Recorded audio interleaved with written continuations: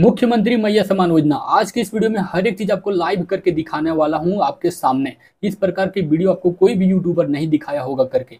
आप लोग इस वीडियो में बने रहिएगा। अगर अभी तक आपको मुख्यमंत्री मैया समान योजना से पैसा नहीं मिला है तो हर एक प्रॉब्लम का सोल्यूशन दूँगा इस वीडियो में। हर एक चीज़ आपको लाइव करके दिखाऊँगा स्टेप बाय स्टेप ठीक है? तो आप लोग इस वीडियो को ज़्यादा से ज़्यादा शेयर कीजिएगा और इसी प्रकार से जेनुअन वीडियो आप सभी को देखना पसंद होगा ना तो आप लोग चैनल को तुरंत सब्सक्राइब कर लोगे। और जेनुअन वीडियो देखना पसंद नहीं है तो आप लोग वीडियो को स्किप कर दीजिएगा। सबसे पहले देखिए, ये जो आपको दिख रहा है, इसका होम पेज है, मुख्यमंत्री मैया समान योजना का। उसके बाद यहाँ पर देखिए, प्रज्ञा केंद्र लॉगिन है। जिसमें अभी हम, इसमें लॉगिन करके आप सभी को दिखाएँगे आपका स्टेटस जो भी लोग मुझे टेलीग्राम पर दिया है ration card number, Aadhaar card number, उसका मैं यहाँ से चेक करके अभी आपको लाइव दिखाऊँगा क्या दिखता है, क्या नहीं दिखता है, ठीक है? आप सभी को हर एक चीज़ देखने को मिलेगा। उसके बाद यहाँ पर देखिए ऑपरेटर लॉगिन है। जहाँ पर हजारीबाग के परमंडल यहाँ पर कर सकता है लॉगिन यहाँ के ऑपरेटर उसके बाद यहाँ पर देखिए, आधिकारिक लॉगिन में B D O C O A D S S login कर सकता है P S R K H K login कर सकता है बी डी ओ सी ओ इस प्रकार से जो ऑफिसर्स लोग हैं, यहाँ पर ये लॉगिन करता है। जो आपको बोले थे ना कि आपका पैसा कहाँ रुका है, कैसे रुका है, कब आएगा, नहीं आएगा, आपका क्या गलत है अकाउंट नंबर गलत है, आधार नंबर गलत है, जो हर एक चीज़ आपको बोला था कि ब्लॉक में जाकर देखिए, वो यहाँ से चेक होता है। आधिकारिक लॉगिन करता है वीडियो में, उसके बाद आपका पता चलता है कि कहाँ पर पैसा रुका हुआ है। प्रज्ञा केंद्र में अभी आपको मैं लॉगिन करके दिखाऊँगा हर एक चीज़, ठीक है? तो वीडियो को आप लोग ज़्यादा से ज़्यादा शेयर करना। अभी तक चैनल को सब्सक्राइब नहीं किया हो तो जल्द से जल्द चैनल को सब्सक्राइब कर लीजिए। सबसे पहले आपको इस वेबसाइट में आ जाना देखिए, यहाँ पर आपको लिंक भी दिख रहा होगा। यहाँ पर हमने क्या ये सर्च किया? M M M S Y dot Jharkhand dot G O V dot in ठीक है? जैसे आप ये सर्च करोगे, इस प्रकार से आपका वेबसाइट खुल जाएगा।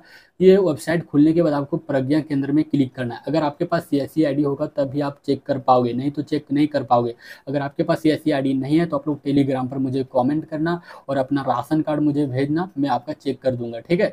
यहाँ पे देखिए, आप हजारीबाग परमंडल, रांची परमंडल, कोल्हान परमंडल, पलामू परमंडल और आपका संथाल प्रगना परमंडल, ये पाँच परमंडल खुल गया। अब किसी भी प्रमंडल में क्लिक करके आप चेक कर पाओगे, ठीक है? तो चलिए हम यहाँ पर रांची प्रमंडल क्लिक करके चेक करते हैं। तो हम पहले से इसको क्लिक करके खोल के रखे हुए हैं क्योंकि ये साइड जो है कभी कभी बंद हो जाता है तो वीडियो लंबा ना हो, इसीलिए हम पहले लॉगिन करके रख लिया यहाँ पर देखिए, जैसे आप उस पर क्लिक करोगे सी एस और अपना पासवर्ड और कैप्चा डालोगे, उसके बाद ये पेज जो है खुल जाएगा, ठीक है? उसके बाद यहाँ पर देखिए, यहाँ पर आपको एक्नोलेजमेंट नंबर पूछा जा रहा है, आधार नंबर पूछा जा रहा है, राशन कार्ड नंबर पूछा जा रहा है। इन तीनों में से कोई एक चीज़ आपको डालना है। बता दूँ, आधार नंबर से आप नहीं चेक कर पाओगे, क्योंकि इसका जो ये ऑप्शन दिया हुआ है, ये काम नहीं करता। आधार नंबर से आप चेक नहीं कर पाओगे, अपना स्टेटस कि आपका ऑनलाइन हुआ है या फिर नहीं हुआ है।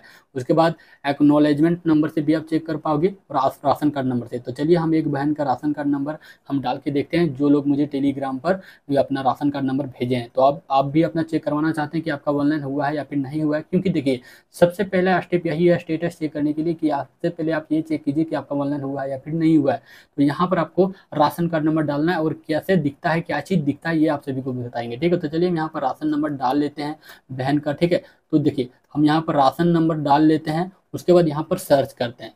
जिससे हम यहाँ पर सर्च करेंगे, यहाँ पर देखिए लिखा हुआ आ गया please wait while we are processing your request this में उसके बाद खुल जाता है, ठीक है? खुलने के बाद यहाँ पर देख सकते हो, पावती क्रमांक आ गया यहाँ पर पूरा। आप लोग देख सकते हो, आवेदिका का नाम आ गया डिम्पल कुमारी, पिता पति का नाम आ गया, बालदेव महातो और आयु उनतीस वर्ष है। पता ग्राम यहाँ पर देख सकते हो, गोविंदपुर बस्ती है, और राशन कार्ड नंबर यहाँ पर देख सकते हो पूरा राशन कार्ड नंबर आ गया। सिर्फ़ यही आपको दिखेगा दोस्तों और कुछ नहीं दिखेगा। इस राशन कार्ड नंबर से अगर और कोई व्यक्ति इसमें अप्लाई किया होगा तो वो आपको नंबर यहाँ वन है तो यहाँ पर टू करके आ जाएगा और उससे सिवा आप प्रज्ञा केंद्र में कुछ चेक नहीं कर पाओगे। ना ही एडिट का कुछ ऑप्शन है, ना ही इसमें कुछ आप अपलोड कर पाओगे। उसके बाद आप सभी को दिखाएँगे कि नए अगर कोई रजिस्ट्रेशन करना चाहता है तो वो कैसे करेगा और आप सभी को बताएँगे कि कहाँ पर गलत है, कैसे आपको सुधारना होगा, उसका भी इस वीडियो में ज़िक्र करेंगे। तो आप लोग अभी तक वीडियो को देख रहे हो मतलब कि सीरियस हो, पैसा पैसा आपको ज़रूर मिलेगा, ठीक है? सिर्फ़ आप लोग इस वीडियो को देखते रहिए। यहाँ पर आपको दिख गया कि पावती क्रमांक, अवधिका का नाम, इससे ये पता चल गया कि आपका ऑनलाइन हो चुका है।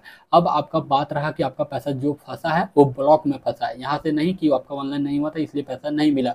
मतलब है यहाँ का कि आपका ऑनलाइन हो चुका है। अब आपको पैसा मिल जाना चाहिए और अभी तक आपको पैसा नहीं मिला है मतलब आप सभी को ब्लॉक जाना होगा। जिससे आप ब्लॉक जाओगे उसके बाद वो ब्लॉक वाले क्या करेंगे? देखिए, यहाँ पर आप सभी को बता दें, ब्लॉक में जैसे जाओगे, यहाँ पर आधिकारिक लॉगिन करेगा अपना वीडियो, उसके बाद आपका आधार नंबर यहाँ पर डालेगा, उसके बाद हर एक चीज़ आपको दिख जाएगा, ठीक है? उसके बाद यहाँ पे देखिए, इसका होम पेज किस प्रकार से दिखता है, अगर दिखेगा तो दिखा देते हैं। हाँ देखिए होम पेज खुल गया, ठीक है? लेकिन ये जो आधार कार्ड का जो ऑप्शन है, देखिए क्लिक कर रहे हैं, लेकिन क्लिक नहीं हो रहा है। बेनिफिशियरी लिस्ट में यहाँ पर देखिए, अगर आप किसी सीएससी केंद्र में कोई डाला होगा तो यहाँ पर हर एक का दिख जाएगा, ठीक है? जो सीएससी केंद्र है, उसको यहाँ पर बेनिफिट फ्री में वो अपना डाला होगा, जिस भी आवेदक का, वो दिखेगा। डिक्लेरेशन में यहाँ पर अभी कुछ नहीं दिखेगा। टोटल अप्लाई एप्लीकेशन में यहाँ पर जो दिख रहा है मोर इन्फॉर्मेशन वो आप जितने लोग का आवेदन किए होंगे, वही सिर्फ़ दिखेगा और किसी का नहीं दिखेगा, ठीक है? तो इस प्रकार से आप चेक कर सकते हो दोस्तों कि आपका ऑनलाइन हुआ है या फिर नहीं हुआ है। उसके बाद आप ब्लॉग जाइएगा कि मेरा ऑनलाइन हो चुका है, इतना दिन हो गया, मेरा पैसा अभी तक नहीं आया है, क्या कारण है, आप बताइए। इस प्रकार से आपको वो बताएगा, ठीक है? उसके बाद आप सभी को बता दें, ये वाला आप कॉपी कर लीजिएगा पावती क्रमांक। उसके बाद आप सभी को बता दें कि आपको अभी तक पैसा नहीं मिला है बार बार ब्लॉक भी जा रहे हो, फिर भी आपको पैसा नहीं मिला है तो आपको क्या करना चाहिए? देखिए, आपको यहाँ पर एक नंबर जो आपको वीडियो आपको वीडियो जो है वो लिंक में दे दूँगा, इस नंबर पर आपको कॉल करना है। इस नंबर पर कॉल करने का टाइम है दस बजे से लेकर से चार बजे शाम तक, ठीक है? तो दस बजे सुबह से लेकर चार बजे शाम तक के बीच में कीजिएगा, लगेगा तो ठीक है, नहीं तो बार बार ये लगता ही नहीं है बार बार ठीक है?